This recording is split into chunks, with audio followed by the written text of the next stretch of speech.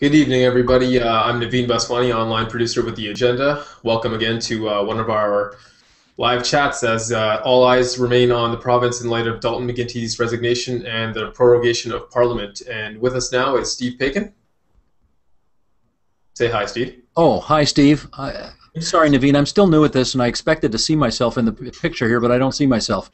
Are you seeing yourself now I am when you're, not. you're speaking? Well, I, I'm seeing you, so uh, I think everything is on track um, in terms of uh, the technical arrangement. If anyone's having any issues, uh, we do have a, a little bit of a new uh, a layout on the on the page on our website, so you'll now see the YouTube video and the chat console side by side. So we're trying to uh, make the experience a little bit better for you. If you are having any issues, please uh, refresh the page. That's the best. Uh, that's the best solution usually for these types of issues. You want me But to do let that know- too? I know. I think you're good, Steve. So I, I'm seeing you when you're uh, you're popping up on my screen. So I think we're good. Okay. Um, just uh, kicking off this live chat, we've got you for about half an hour here. Uh, we do have a live show at eight o'clock, and I just want to know what's the what's the reaction that you've heard over the last 24 hours. It's obviously one of the biggest stories. Well, this would be the biggest kind of departure from Queen's Park story, I would guess, in about 27 years. I think you've got to go back to 1980. What was it? Thanksgiving weekend, 1984, to find something comparable, where everybody assumed that the premier of the day was showing up to make one announcement, and in fact made quite a different one. In that case, it was Bill Davis showing up after Thanksgiving weekend in what everybody thought was a certain election call, and in fact, he announced his retirement from public life. And this one, I think, similarly caught people off guard. Um, I got, I gather that very few people knew that Dalton McGuinty was going to resign, and uh, not only that, uh, the people who did know managed to keep that secret very tight to the vest, and it did not get out. Um, many of these resignation stories do manage to seep out ahead of time and take some of the thunder away. But yesterday's announcement shocked everybody. It was, of course, a, a last minute caucus meeting at which Mr. McGuinty went in, uh, got lots of applause, stood in front of his caucus mates, uh, thanked them, told them about, the, uh, as they perceived it, the, their achievements over the years, announced he was proroguing the House. I think at that point most people thought, okay, that's pretty big news. Uh, but then he said, it's time to refresh and renew the party, and that was the big surprise. I, I, I've heard two kinds of reactions today. The first is uh, the guy was a pretty amazing politician. He's the first liberal uh, premier in 126 years to win three elections in a row.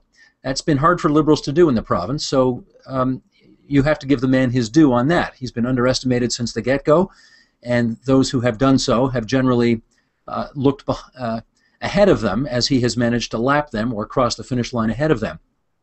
The other thing, though, that I'm also hearing is that uh, there's no question his legacy will suffer some tarnish um, in light of the events of the last few days, and that is the proroguing of the legislature, the shutting down of question period, the shutting down, more importantly, of committees, and in particular, the committee that is going to consider the contempt allegation against his energy minister. Um, the Liberal brand is not in great shape right now, as we know in Ontario, and I guess some people are quite convinced that uh, the Premier didn't do any favors to that brand by doing what he did. So that's the, if I can put it, the, sort of the two-track analysis that I'm getting back at this early stage. Great, great. Thank you, Steve. Um, we do have a few questions that are coming into the live chat, and Freddie, uh, user Freddie has the first one, and he asks, "Why would any group negotiate with McGuinty now that he is no longer going to be around?" Well, let's keep in mind he's around until his successor is picked, and we don't know when his su- successor will be picked. The Liberal Executive Council uh, was was to have met today to begin its deliberations on when the convention would be, what kind of a leadership convention it would be, would it be delegated, one person, one vote, uh, where would it be, uh, how much money can you raise? There are lots of questions around all of this. Uh, keeping in mind there's a federal Liberal convention as well coming up in uh, April, and presumably the Ontario Liberals want to have their leadership convention before that one. So uh, McGuinty is around until that next premier is picked. Uh, so that should be all the incentive you need if you want to get business done to have to continue to work with them. Okay, great. And um, one of the other questions, um, in terms of reaction today, has any further light been shed on why he stepped down, or is it? Are we still in uh, speculation mode, if I can say so? Well, I talked to one of his quite close friends today, and I won't name the person because obviously what he was telling me was based on uh, personal interaction and private conversation. But essentially, what the fellow told me was he's had enough. And you can understand that. Uh, he's been in public life for 22 years, Mr. McGuinty has. He's been Liberal leader since 1996, so that's 16 years. He's been Premier for nine. It's arguably the second or third hardest job in politics in the whole country, uh, assuming Prime Minister is number one, possibly Premier of Quebec being number two, but it, it's, it's number two or 2A, either way you look at it. And he'd won three elections, he'd contested four elections. His explanation was that he went to his daughter Carleen's wedding recently and, surrounded by friends and family, it sort of hit home to him how much he had missed over the years by being in public life. And furthermore, the um, endorsement he got at the last uh, provincial annual general meeting of the Liberal Party, in which he got an 86% support, uh, which is a pretty good number, It was higher than Tim Hudak's number and higher than Andrea Horwath's number at their respective conventions. So he said to himself, um, I'd rather go out when people want me to stay as opposed to when they want to kick me out the door. And I think we just have to kind of accept the fact that um, after having been in it this long, he's probably had enough. He doesn't want to run again. And if you don't want to run in another election, then you should step down. And so he has. Thank you, Steve. Um, I'm receiving. I've received a couple of comments uh, from a couple of users asking if the video portion of the chat is live, and indeed it is. So if you're having any issues, please uh, first make sure you press play on the YouTube video, and if that's still not working, uh, just please refresh your browser. And uh, William, one of the users, William, did let me know that it is working. So um, I hope uh, everyone's uh, able to access the video. And here's a question from Steve. or here's a question for you, Steve, from Debbie there has been some speculation that. Um, sorry, I just had a, a little pop up, but there has been some speculation that McGuinty will run federally to provide Justin Trudeau with a serious challenger so that Trudeau is not crowned. Has there been any known example of this type of challenge in the past? And if so, was it successful? Well, Mr. McGuinty's got a couple of things going against him already on that front. Number one, if you think back on all of the previous premiers of Ontario who have become prime minister, let me think, let me think, the list is empty. Uh, the Premier knows this. Uh, why he said last night at his farewell news conference, uh, I'm, I have no plans to run for any further position in politics, uh, really quite astonished me because that's the kind of thing you say when you want to keep the door open. And I would have thought that on his retirement from Ontario politics announcement, he'd want to shut that door pretty tight. After all, one of the reasons we're told that he's leaving public life right now is that he wants to spend more time with his family, and it would be an unusual move to say the least for him to say, I need to spend more time with my family, but I'm about to undertake a 10 year project to try to bring the federal Liberals back from third place to first place. Uh, he's 57 years old. He's still got his health. Uh, he has some good earning years ahead of him if he wants them. Uh, I don't know what he'll do next. He says he, ha- he does, has no uh, plans uh, firmed up yet, and I think we have to take him at his word in that in the absence of any other evidence.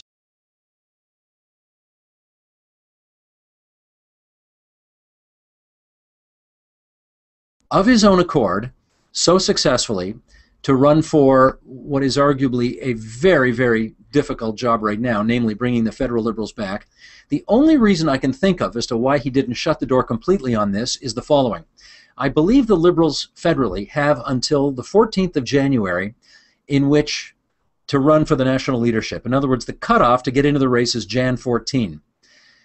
It may well be that Mr. McGuinty is saying to himself, if over the next, where are we here, middle of October, November, December, if over the next three months, Justin Trudeau somehow puts his foot in it and flames out, um, and somehow becomes um, a damaged candidate, uh, then you'd have to admit that the likely number two choice for liberals across the country would in fact be Dalton McGuinty.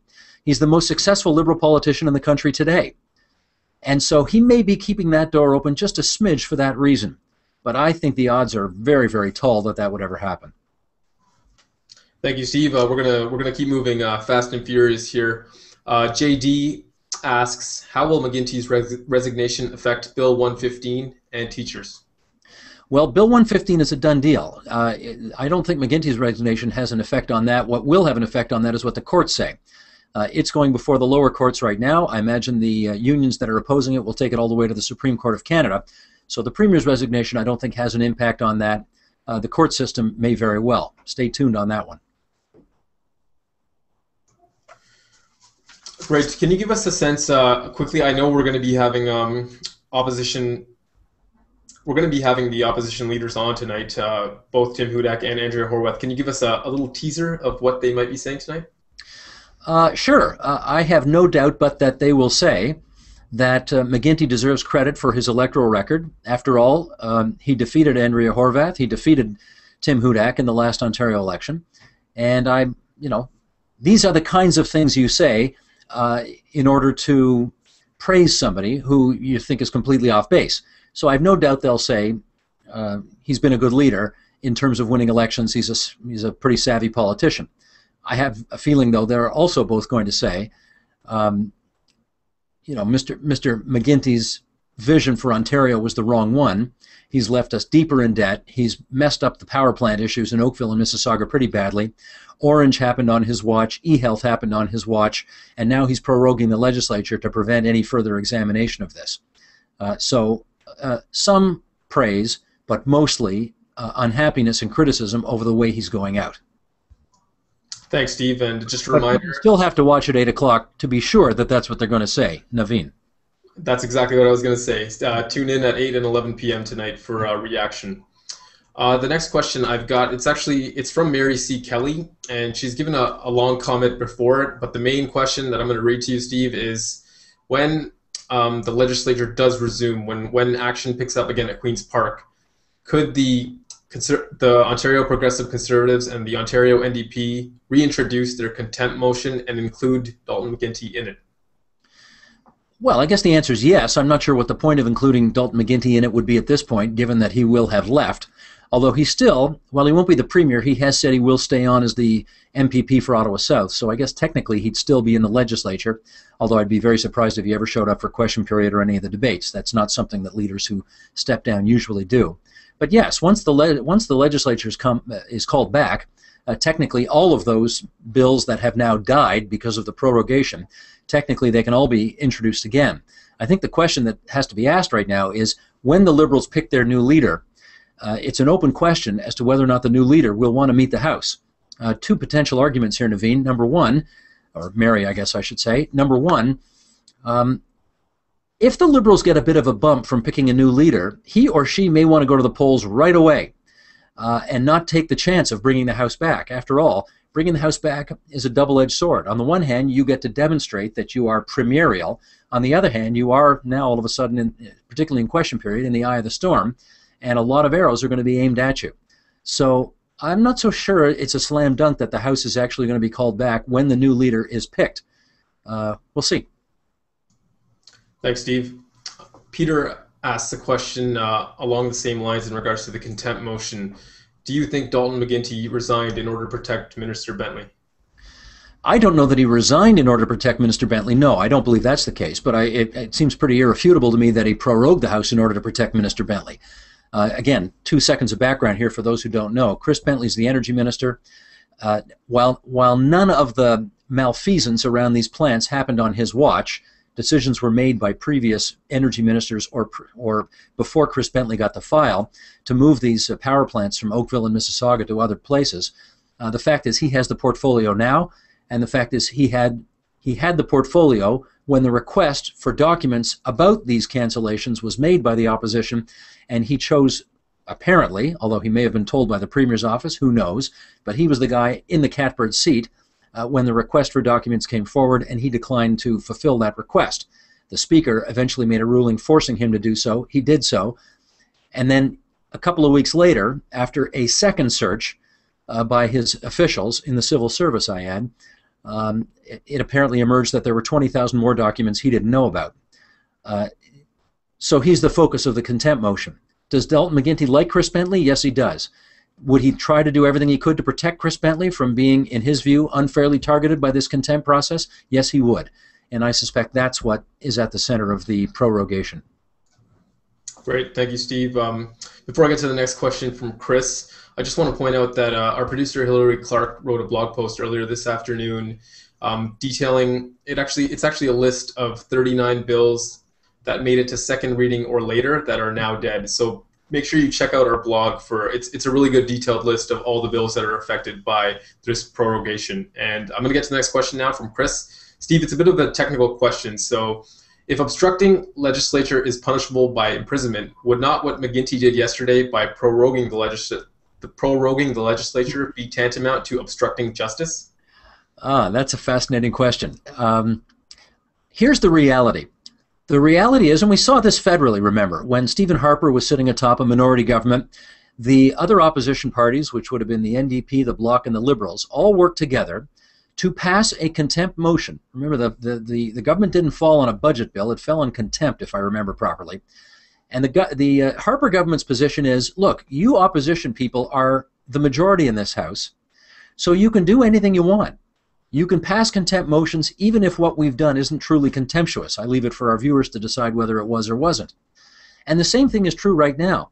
The NDP and the, and the Conservatives have the majority of the members in this House, which means that if they, in their wisdom, decide that somebody is acting in contempt of the legislature, they can so vote.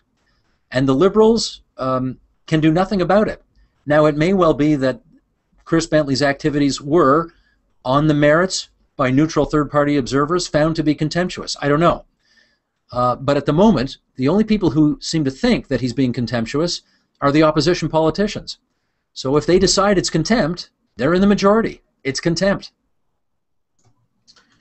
Okay, uh, Tom has sent in a question that, that feeds into the feeds into your answer here he's, he uh, he writes, uh, given that proroguing the government is not actually all that atypical, is the opposition being is the opposition response too harsh? Are they setting the bar too high, and that they might want to use this tactic as well? Well, that's a good point. And once upon a time, you're, you're right. Prorogation is not extraordinary. It does happen a lot. Oftentimes in the past, though, it was only used as a tool. I shouldn't say only. It was mostly used as a tool by governments if they were in a bit of a rut or a bit of a slump or they wanted to kind of reboot or recharge or put a new face on um, policy. So they would prorogue the legislature, the legislature would break for three months or so, and then they would come back with a speech from the throne outlining sort of a new vision for where the government wanted to go forward. That is pretty clearly not the case here, and it pretty clearly wasn't the case federally either. I mean, Stephen Harper prorogued to avoid a date with the noose. That's pretty irrefutable. Dalton McGuinty has prorogued so that his energy minister can't be the subject of contempt hearings. Those contempt hearings are now dead in the water for now. So prorogation seems to have taken on a new method, which is we're not just going to do it to put a fresh coat of paint on our government, we're going to do it to avoid significant difficulties. And that is different. And people can judge whether they think it's a good thing or not. All right. We are also um, active on Twitter tonight. We're going to be just a just a note on uh, online programming. We are going to be continuing this chat until 9 p.m. But once Steve uh, departs to host the show, uh, we'll make this a text-only chat. So be sure to stay with us throughout uh, until 9 p.m. both here and on Twitter. And speaking of Twitter, uh, producer Allison uh, Buckenterrell has sent me a question that we just received on Twitter. There's actually three questions, Steve, and I'm going to get you to ask the. Uh, I'm going to get you to answer the last one. So the three questions are Was proroguing Dalton's only option? Is his prorogue of the provincial legislature legal? And why did he not assign an interim leader? So essentially, why no interim leader and why this route, if you wouldn't mind, Steve? Thank you. Okay, sure. No, uh, you know, was it his only option? No, he could have uh, simply kept going as he wanted to keep going. He, he, could easily have stepped down and not prorogued the legislature, but as we suggested, uh, proroguing has, from a liberal point of view, the added benefit of shutting down all inquiry into the power plants issue and taking it out of question period as well. Is it legal? Absolutely. Of course it's legal. The premier goes to the lieutenant governor, asks for a prorogation. The lieutenant governor never has in the uh, um, uh, in the past in Ontario history, to my knowledge, I don't think it's ever happened, refused the request of a first minister uh, for prorogation. Uh, and the last question is, could he have, uh, you know, stepped down, appointed a, another interim leader, and then gone forward? He could have. Uh, the Liberals have done that, funnily enough, three times in the, I think, three times in the past with Robert Nixon alone. Robert Nixon in the 1970s lost an election to John Robarts, decided to step down. strangely enough, um, they had a leadership convention at which nobody was very happy with any of the candidates. So they asked Nixon to run again, and he won his leadership back. But then two more times after that, after Stuart Smith retired, and then after David Peterson retired, uh, Robert Nixon was thrust into the interim role again. And usually, it's it's it. It's a job that goes to a guy who A doesn't want the leadership permanently and B has enough respect across the party um, and enough experience, sort of like an eminence grise, uh, that it's a non-controversial appointment. My only thinking here would be that Dalton McGuinty didn't see that kind of person on his backbenches and therefore decided to hang on to the job until his replacement was appointed. Thanks, Steve. Uh, Tim chimes in. I know you offered your musings on this already, Steve, last night, but it's the question many of us are really eager to hear if there's more information on. What's the early rumors on who's most likely going to run for leadership? Well, actually, the rumors I think have moved forward a little bit yesterday versus today, so I, I hope I have a little more information for you today. Um, for what it's worth, I was on News Talk 1010 this morning with Michael Bryant, who is, of course, one of the people being rumored to run. And Bryant, when asked this morning by John Moore about this, gave a very good answer, which was anybody who is seriously thinking about running and admits to that today that they're running uh, probably doesn't deserve to have the job. Uh, you know, there there are kind of formalities around all of this, and the formality at the moment is Dalton McGuinty gets a few days to either bask in the glory or deal with the misery of his decision. And people who are considering this do so um, discreetly, let's put it that way. But I think there's no question that, that um, if I had to bet, I'd say Kathleen Wynne is going to get in. Uh, to, you know, Dwight Duncan has already said, we, we, we were um, speculating about him last night, he's already said he's not going to go in. Uh, Deb Matthews is considering it, no doubt. Eric Hoskins is considering it, no doubt. Brad Duguid is considering it, no doubt. For all of their being outside of politics right now, I'm sure George Smitherman, who's a former deputy premier, and Michael Bryant, who's a former attorney general, are also considering it, no doubt.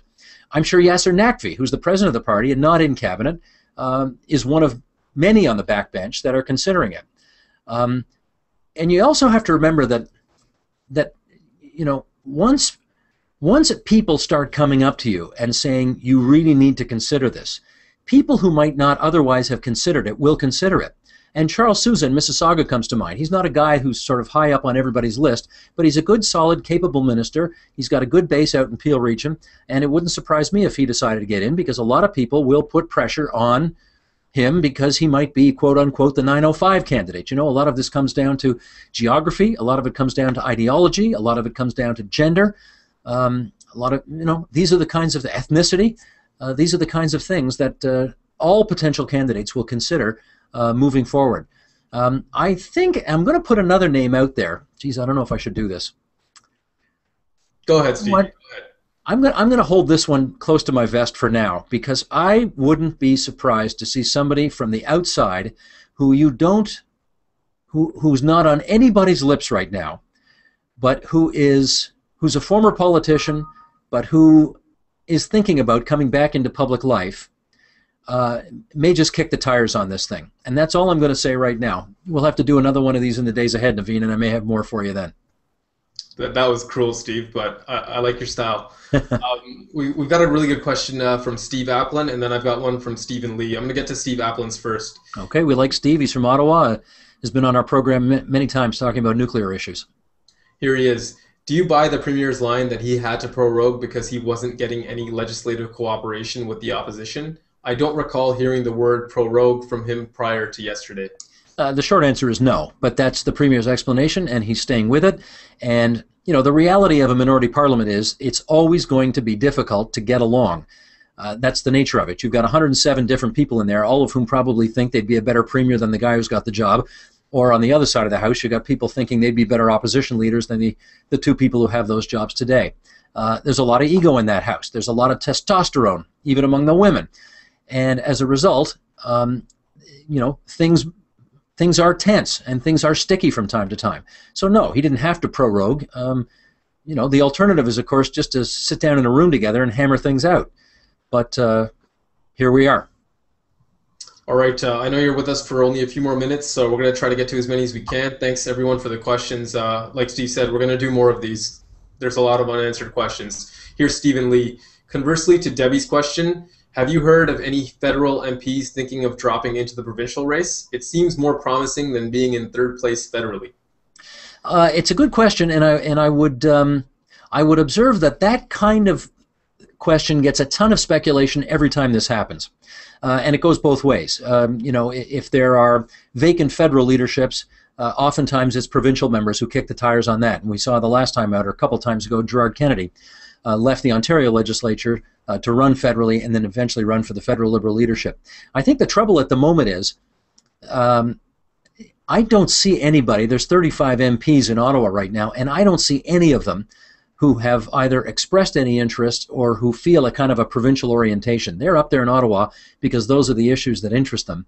And uh, the other thing you have to remember is that there, there is a, yes, it's the Liberal Party of Canada and the Liberal Party of Ontario, but they're really kind of only distant cousins. Uh, there's not a lot of love between the two parties. Um, the resources, the people power, the money tends to go to whoever's in power. So right now that's provincially as opposed to federally. So um, I just had a crazy thought come into my head, which would be, wouldn't it be funny if Bob Rae ran for the job? In which case he would have been NDP Premier of Ontario, interim leader of the federal Liberals, and then maybe future leader of the Ontario Liberals. That would be a heck of a trifecta. But as far as I know, he's not considering that. Great. And um, here's a question from Liz, another good one. Do most voters really care about things like prorogation and contempt motions? It didn't work for the Ignatieff Liberals against Harper. It didn't bring out enough votes to change the federal government. I, you know, do most voters care about politics or public issues at all? I, I don't know. I, you know, 50% of them now only show up at the polls, so it may well be that um, it may well be that the public are uh, have, have a limited appetite for this kind of thing. Uh, I don't think there's any doubt that most of members of the public are not into the intricacies of parliamentary democracy, but I don't think it's a terrible thing that we use these opportunities to kind of remind people that this is how our system works. We're not like the American system. Uh, our first minister has an enormous amount of power, uh, more so than any governor or any pr- uh, president does in the United States. And these are, in some respects, good civics 101 opportunities to really understand the differences in our system. We have responsible government up here. We have government by uh, by the premier mostly, by the prime minister mostly, occasionally by cabinet, and uh, even more rarely by members of the backbench as well. Um, yeah, I'll just leave it there. It's um, pro- proroguing has been around for a long time, and it, it never hurts to remind ourselves how our system works. Great, Steve. Here's one uh, from Tom. How much does Steve think the new leadership will choose to distance itself from McGuinty to solve issues around contracts, i.e., Bill 115, power plants, Ornge? Is this part of their plan to distance themselves from McGuinty moving forward? Well, I think the answer to that is, and this may not be all that satisfactory an answer, but the answer is it depends who wins. Uh, certainly, almost any time you have a leadership race, there will be a candidate, or maybe more than one candidate, who will want to distance themselves from whatever came before, because that's a way to put a you know a really fresh coat of paint on the party and potentially take the party in a different direction. Remember, the problem for the Liberals right now is that they've alienated so many different members of their base. It's hard to know where they go to get support to be competitive in the next provincial election. Uh, they have won three elections in part because they had excellent relationships with all the public sector unions, and those unions have no time for them now at all. Now, I'm just blue skying here. If a Kathleen Wynne, a former education minister who had excellent relationships with teacher unions, uh, relatively speaking, if she were to win the leadership, could she come forward and say, you know what? Um, what's done is done, but we're going to veer off in a slightly different direction here, and uh, I'm not going to take the approach that we took before. Could she do that and get away with it? Maybe, based on her track record. Uh, so, yes, all bets are off, but you got to remember that uh, while there's a lot of opposition out there to the Liberal Party right now, members of the Liberal Party like what they've done in the main over the last nine years. They think they've got a good story to tell on healthcare and education and the environment and social services. And I, you know, if you want to get the votes of the Liberal Party faithful, who are, after all, the ones who are going to pick the next leader, um, you got to watch how much you distance yourself from your record and your legacy. A lot of people like that record and like that legacy. Thank you, Steve. Um, in terms of a reminder of what, in terms of reminding the audience about what happens now in terms of uh, the prorogation of the House, I'd like you to explain that, and I've also got a couple of questions which are which touch on that same theme. So, Freddie asks, is it correct that nothing can be done now until the Liberal Party picks a new leader? So are we looking at February at the earliest? And Chris also asks, can the opposition parties reopen the legislature collectively by going to the LG to asking for withdrawal of support for pro- prorogation of the legislature? On that second question, the answer is easy, and the answer is no. And I'm going to ask Tim Hudak and Andrea Horwath about that tonight. And I know what their positions are already. Uh, they looked into it, and the answer is no. Uh, there is no constitutional relationship between the Queen's representative, uh, which is David Onley, the Lieutenant Governor, and the opposition leaders. There is none. Uh, David Onley uh, David Onley only has to take a, a, meeting with the Premier of Ontario. He did that. The Premier and he are the only ones who can deal with the prorogation situation. So that's number one. Uh, previously to that, um, uh, the, the, issue is about uh, whether anything goes on now that the House has been prorogued. Uh, the answer is yes and no. The no is that there's no question period. There are no committee hearings. There are no bills that will proceed through the legislature. So anything that requires first, second, third reading, royal assent to become law, none of that can happen. However, the government still exists. The cabinet still meets. Cabinet ministers still run their departments. Cabinet ministers can still change policy via regulation. Um, so to say that the government just shuts down is not true. However, a lot of the business of government will shut down. A lot of the business, as you pointed out, Naveen, earlier, all, those 39 bills that Hillary Clark lists on our website, uh, all of those are dead in the water. So anybody who's out there whose job depended on a lot of those bills coming forward and becoming law, your job is more precarious today. Uh, there's no two ways about it. Uh, however, it's not to suggest that nothing happens now. I mean, the business of government does continue, uh, just not in, in the way that it did.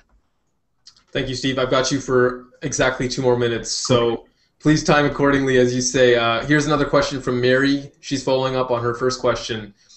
If the new the new Liberal leader taking over from McGuinty chooses to go straight into election mode, what happens to the Ontario to the 2013 budget? That's her question. Uh, well, there'd be no budget uh, if, if immediately after winning the leadership, the, the new leader decides to uh, go right to the lieutenant governor and demand a uh, an election, uh, which would be his or her right as the leader of the new leader of the government and the new premier of Ontario. Then that's what would happen, and the budget would have to be delayed which is not unprecedented. That's that could happen, and it wouldn't be the end of the world if the budget. I think the fiscal year in Ontario starts April 1st, so if you assume in a February or March leadership convention, um, you know you wouldn't get a budget till May or June, and that wouldn't be the end of the world. Great, Steve. Uh, I know you have a shoulder due, and our last question is actually from uh, producer Meredith Martin. She asks, "Can you say proroguing Parliament ten times fast?" Uh, the answer to that question is no. but thank you for that question, Meredith. Meredith, I was really hoping I was going to get a better question out of you. Maybe something about baseball or how beautifully Tony Bennett sang "God Bless America" the other night in San Francisco. But um, no, I can't say proroguing Parliament that quickly ten times. You got me. Thank you, Steve. Have a great show, and thanks for taking the time to join us before. My pleasure. Thanks, everybody. See you on TV in nine minutes. Thanks, everybody, for all your questions. I'm sorry if we couldn't get to all of them. Like Steve said, we will be doing more of these, and what better way for you to spend the next hour than to watch the agenda. So we're going to be on air right at eight o'clock. We've got we're continuing our coverage of this story, and we're also going to be continuing our live chat. So this is going to become a text-only chat until nine o'clock. If you're not going to be able to stay on your computer, and if you're going to be watching and you're going to be on Twitter, please chime in using Agenda TVO, the hashtag. Our producer Allison Buckenterrell is uh, monitoring our Twitter feed uh, for all of us. So let's continue to talk. And uh, I'm going to end the uh, video portion of the broadcast. And again, thank you for joining us, and we will do it again.